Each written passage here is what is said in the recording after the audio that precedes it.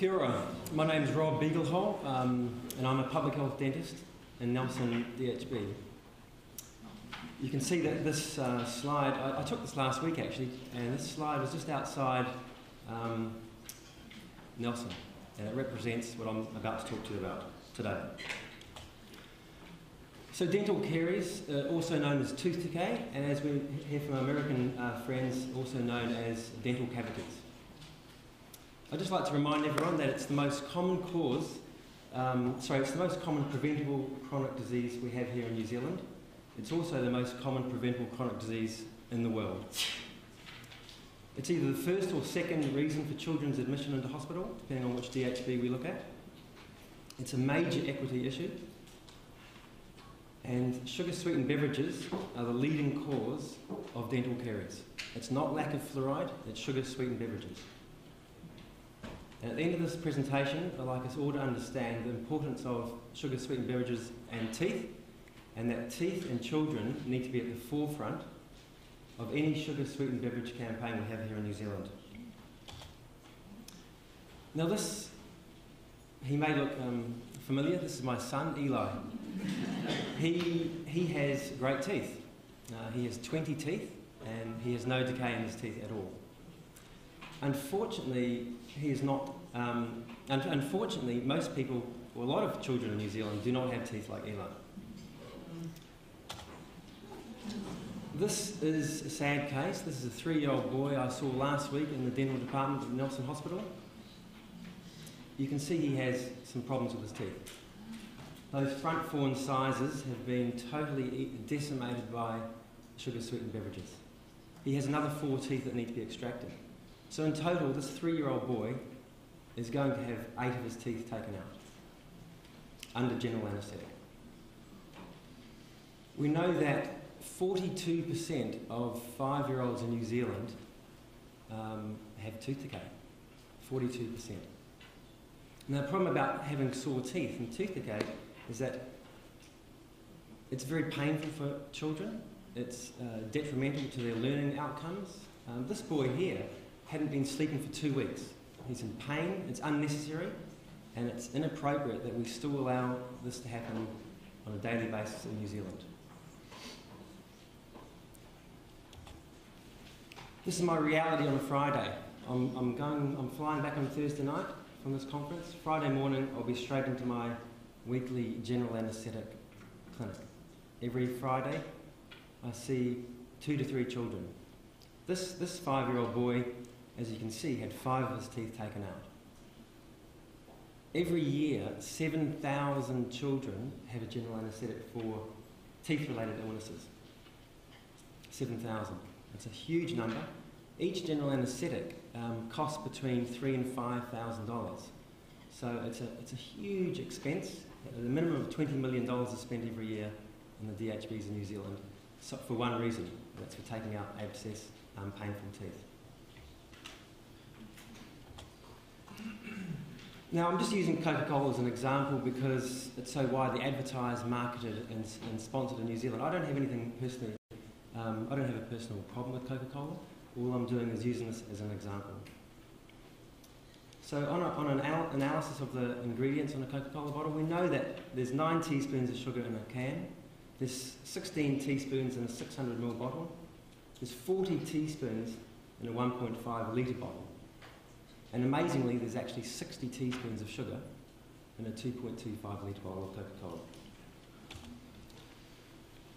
I love this slide. This slide illustrates that out of 30,000 products on average um, sold in the supermarket in New Zealand, this highlights the top 10 selling items. Coca Cola 1.5 litre bottle, number one. Number two, Wattie's spaghetti? Number three, Coca Cola 2.25 litre bottle. Well, I've heard that this has actually just moved up to number two, but I haven't got evidence of that at the moment. Number four, white toast. Number five, baked beans, also packed full of sugar. Number six, bananas. Number seven, more white toast. Number eight, Sprite lemonade, 1.5 litres. Number nine, Molenberg toast. And number 10, interestingly enough, Coke Zero which has no sugar in it. we've got this, this. This is not a joke. We've got this up on our, um, our board. I'd just like to read this out to you because it's so telling. For a better start in life, start cola early. How soon is too? How soon is too soon? Not soon enough. Lab tests over the last few years have proven that babies who start drinking soda during the early period have a much higher chance of gaining acceptance and fitting in. So, do yourself a favour. Do your child a favour. Start them on a strict diet of sodas and other sugary carbonated beverages right now for a lifetime of guaranteed happiness. This is from the Soda Pop Board of America in the 50s. Actually, we're, we're almost, I, I like the word happiness here because one of the um, sugar sweetened beverages companies here in New Zealand like to use happiness and choice as their byline. Oh, it might have been this one. Uh, I was at the petrol station last week and I couldn't help but help take a photograph of this here.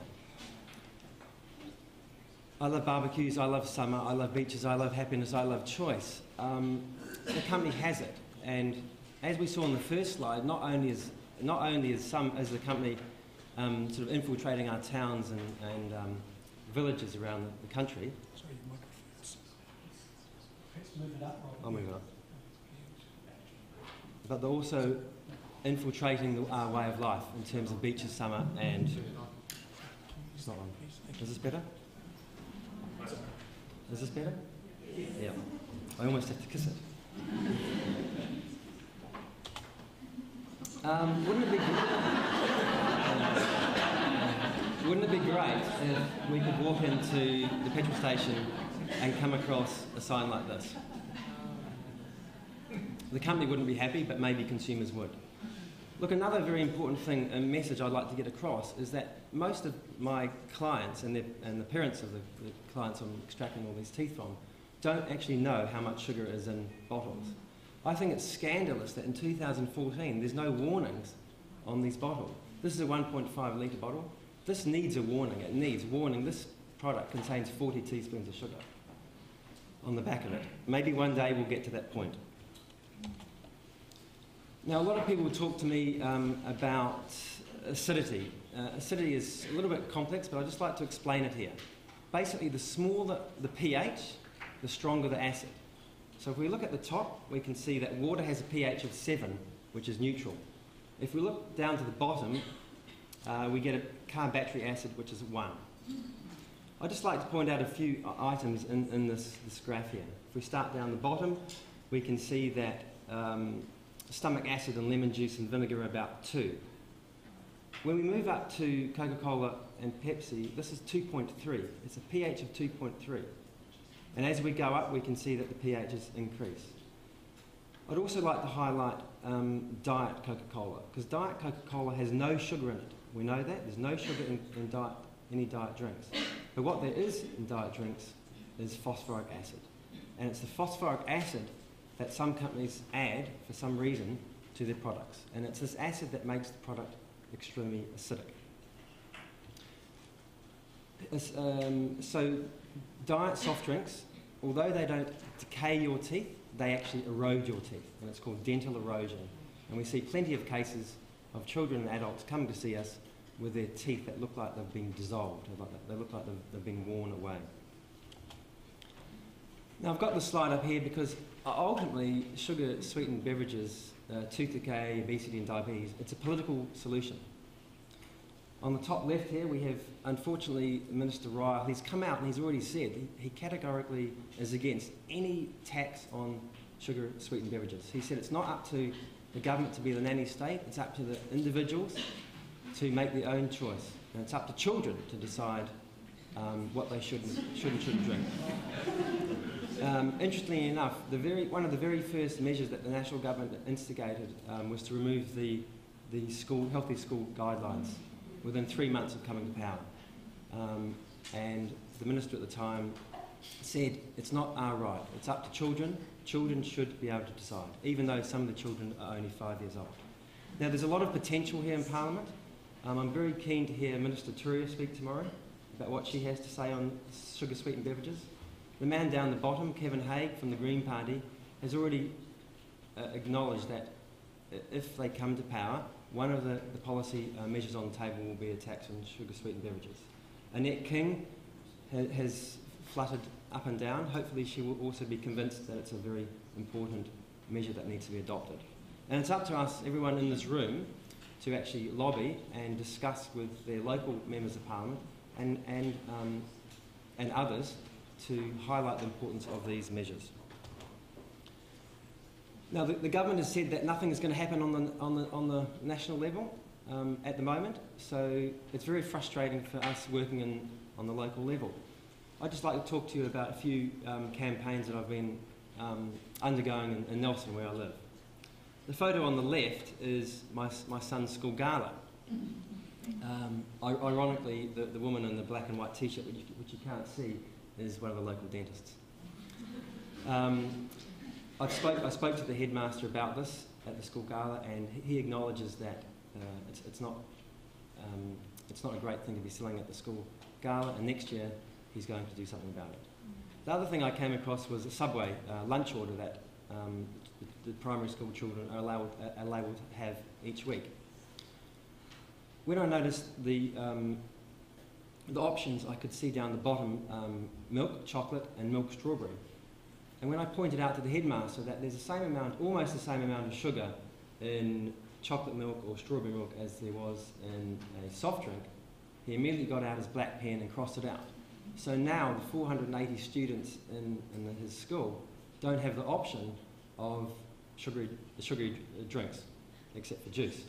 So it was just an example of what can be done on the, on the local level with one, one, one, one conversation. I next moved on to the Nelson City Council. Um, that's a photo of me and that came along in the newspaper the next day. So what I did, I went along to the open forum at the council and I requested that the Nelson City Council um, develop a pol- policy on sale of sugary drinks from council facilities and events. I started the talk with a bottle, an empty bottle of um, sugar sweetened beverages, which was packed full of 40 teaspoons of, of sugar. I then passed round some rotten, de- decayed teeth that that morning I'd actually, I'd actually extracted um, and passed it around. It was a very effective uh, measure, um, and there was a lot of debate, obviously. Um, and what ended up happening, they, there was so much debate that they decided they couldn't um, initiate anything at the moment, so they decided that they were going to vote on the measure a month later.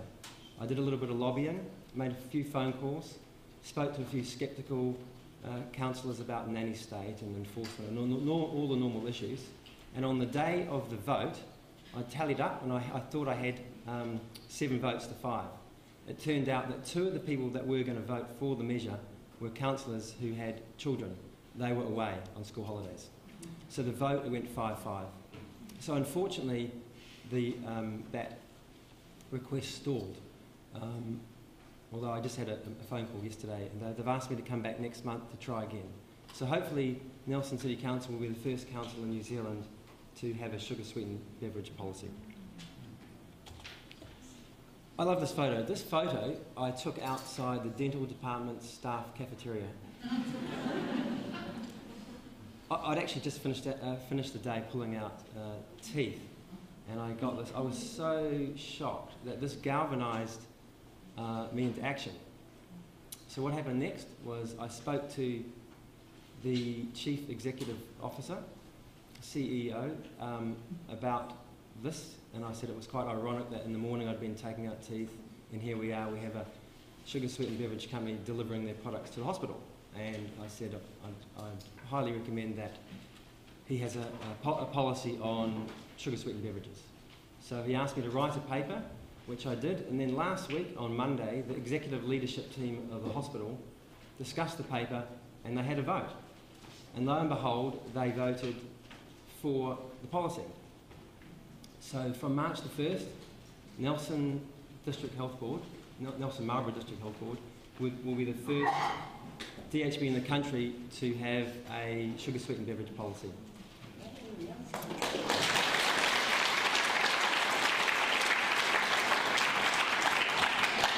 Um, and uh, so hopefully this will act as a catalyst. There's no reason why other DHBs, especially the big Auckland ones up here, why you guys can't initiate a, a similar policy.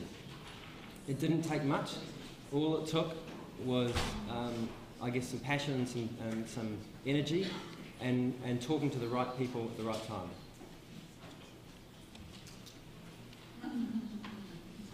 We all know who this is, the past captain of the All Blacks. All Blacks. Uh, the All Blacks, for some reason, enjoy close relationship with some sugar sweetened beverages um, companies in New Zealand.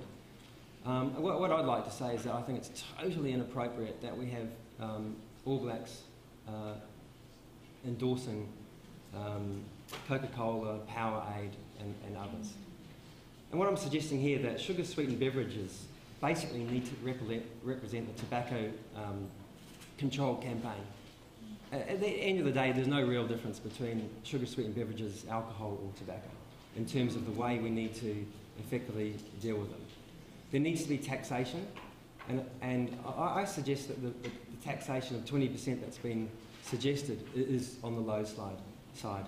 I think we need to go for 50% taxation um, to make it um, effective. We know that there's, we live in um, difficult times. The taxation would obviously raise a lot of um, income and it would also have a, a huge impact on lowering the consumption of sugar sweetened beverages. We also need to limit advertising bans, sponsorship bans, and limit the availability. The head of the Nelson School Boys, Nelson College Boys um, volleyball team um, was a patient of mine uh, a month ago, and he said that they'd been approached by McDonald's whether they'd like some sponsorship uh, for their for their t-shirts, and he was against it, but he, he took the money because no one else was going to um, tackle the issue.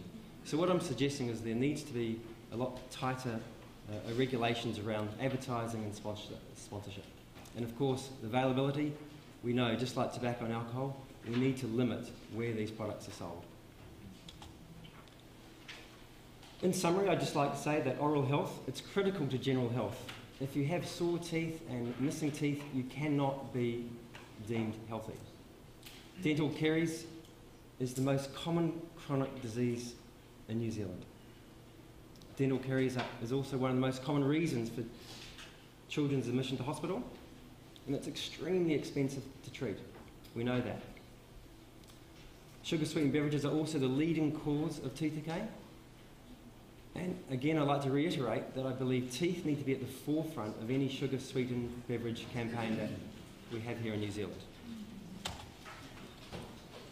I'd just like to finish with a slide. Um, I jumped, jumped over the fence and um, defaced their sign and took a photograph of it. I remember uh, the Simon Chapmans of, of the uh, 80s and 90s who, who did the BUGA UP campaign, and I'd like to suggest here that we also engage in a similar campaign around New Zealand.